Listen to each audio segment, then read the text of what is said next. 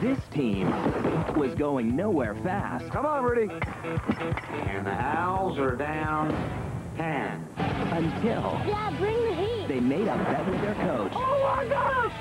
You start winning, you try out for the major leagues. All right. On March 29th,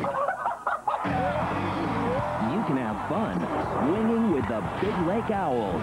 The Rookie, Lon, you're up. Just a second. I'm not doing it. rated G, starts March 29th.